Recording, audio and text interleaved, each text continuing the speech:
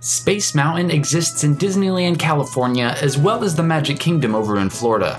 Yet despite having the same name, the rides are surprisingly different. Which one is better?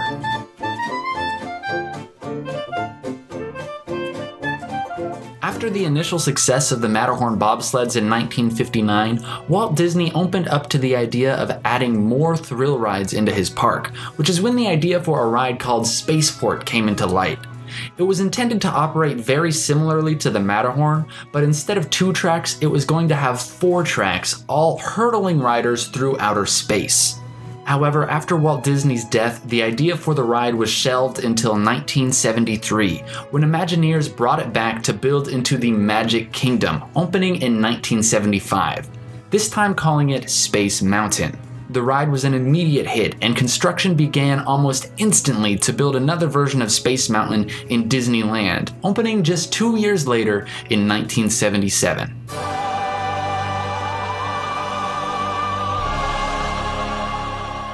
The two versions of the ride look almost identical. Disney World has a slight upper hand because it's a bit larger as it was built over in the Magic Kingdom where they had a whole lot of space, but Disneyland's can be seen from the streets of Anaheim, which I think is really awesome. Disneyland's version of the ride also had a questionable recoloration back in 1997. They changed it to a more rusty green looking color, which I actually think was really cool. I would have loved to have seen it, but most people just hated it. Uh, so they reverted it back to white pretty shortly after, which is why, as far as the exterior of the buildings go, I'm calling it a tie.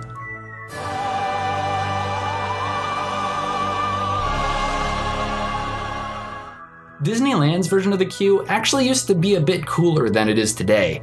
There was originally an escalator that would take guests up to the second floor, and a stage was there that would frequently have live music being performed while guests were waiting in line. A quick correction from Future Bram, who is now editing this video. I misinformed you just a little bit because I'm a big old goobus. The space stage was actually down below the escalator on ground level where live music was occasionally performed. Since then, it has been torn down along with with the escalator and it was replaced with this pointless kind of upper plaza area. I, I don't know what it's doing there, but that's what's there now. Now guests have to go down past the side of Pizza Port and climb up some stone walkways to get to the second floor.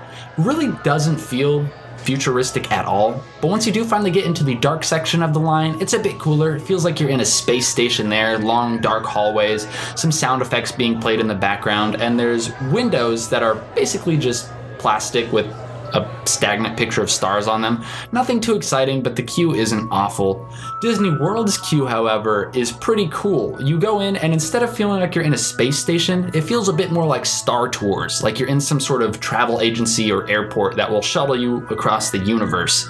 There's also some games to play while you're waiting in the line, which is always fun. There's basically just buttons to mash and, and games that are on the left side of the line.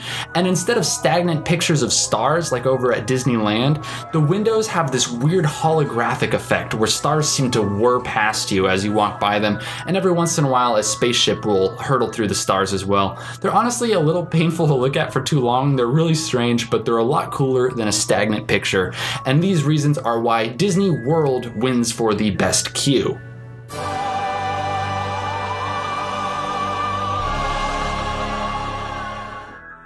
Once the queue reaches the boarding area, however, is when Disneyland really starts to shine, and you really get that immersive feeling that you're in a space station. The room has a big pointed nose at one end with a big window showing pictures of planets hurtling past you as you fly through the universe. There's also a big satellite shuttle type thing sitting in the middle of the room, and you enter on the second floor. So as you wrap around the whole room going down, you can see people hopping in their space shuttles and heading off on their adventure. It really builds up the excitement and anticipation anticipation. Disney World's version is is different. It's a much smaller room and you have the choice to go either left or right because this version of the ride has two separate tracks. So there is some excitement in picking which track to use, but apart from that, it's a pretty standard dark room with more of the holographic windows, and you can't really see people boarding too far in front of you. So for the boarding area, Disneyland takes the point on this one.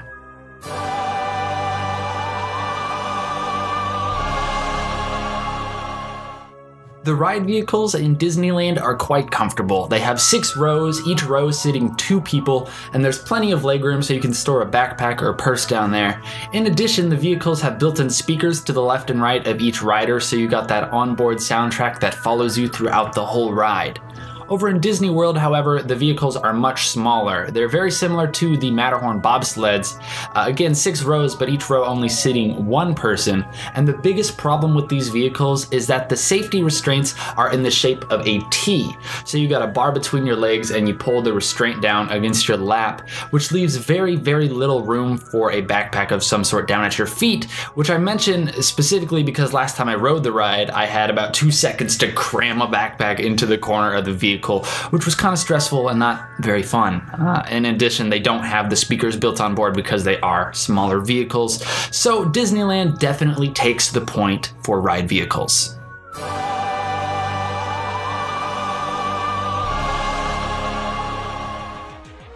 Now, onto the main attraction, finally, the ride itself. Disneyland's version of the ride is incredibly smooth. Despite all the unexpected twists and turns and dips as you speed through outer space, the ride never really feels uncomfortable. Most importantly though is the onboard soundtrack. As I mentioned, each of the vehicles have the built-in speakers, so the soundtrack is able to sync perfectly with all the twists and dips in the track, adding an extra layer of thrill and excitement to an already perfect ride. And I do say perfect, I don't say that lightly. I think Disneyland Space Mountain is perfection. Over in Disney World, as I mentioned, there are two separate tracks just like the Matterhorn bobsleds in Disneyland, which is exciting because you get to pick a different track each time you ride the ride and have a different experience. But also like the Matterhorn, the tracks are pretty rough and having a rough, bumpy ride as you speed through outer space kinda detracts from the whole immersive experience, but it's still fun to have the two tracks, so that's big bonus points. In addition, the Disney World version of the ride has a small dark ride section at the beginning as you go up the lift where you can wave hi to some spacemen before you hop off their spaceship and speed through outer space. The biggest letdown though in Disney World is the lack of an onboard soundtrack. Overall, the Disneyland version is just better, in my opinion. And if you disagree, that's fine, but I love the Disneyland version of Space Mountain. I think if you ride them back to back, Disneyland, and then you fly over and ride the Disney World version, the Disney World one will let you down a little bit in comparison. But that's just my opinion.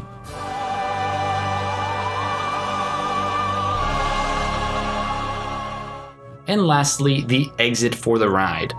Disneyland's ride ends without any real fanfare. You hop out of your shuttle, walk up a flight of stairs, look at your cool picture, and then you're thrown into one of the most congested areas of the entire park, which is not the best way to end an otherwise amazing attraction. Over at Disney World, though, there's this interesting moving walkway that carries you outside of the attraction and back into Tomorrowland.